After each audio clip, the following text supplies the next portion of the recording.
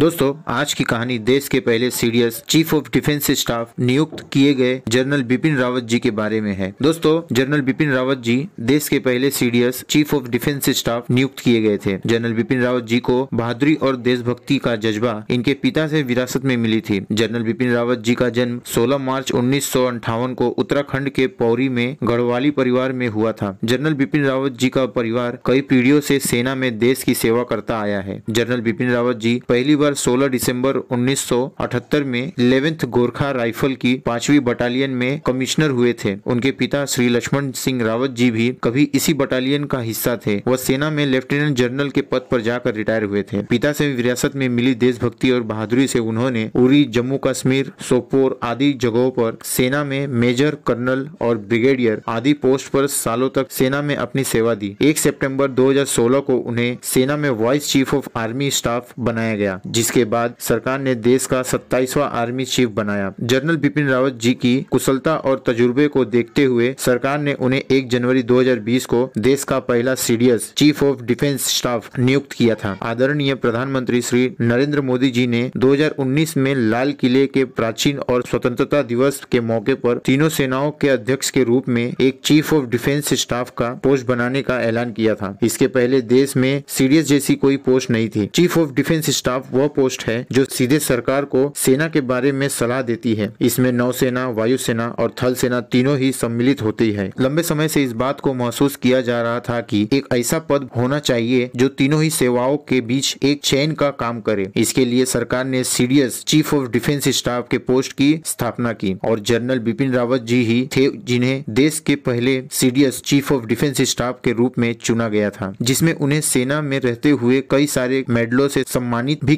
किया गया था, जिसमें परम विशिष्ट सेवा मेडल, उत्तम युद्ध सेवा मेडल, अति विशिष्ट सेवा मेडल, युद्ध सेवा मेडल, सेना मेडल और विशिष्ट सेना मेडल आदि शामिल है। दोस्तों, ऐसे सूरवीर ऑफिसर्स के लिए एक लाइक तो बनता ही है, जिन्होंने कई पीढ़ी तक सेना में अपने सेवा करने की भूमिका तहे दिल से निभाई है। तो दोस्तों, आज के लिए बस इतना ही, मिलते हैं फिर अगली वीडियो में, तब तक के लिए धन्यवाद, जय हिंद।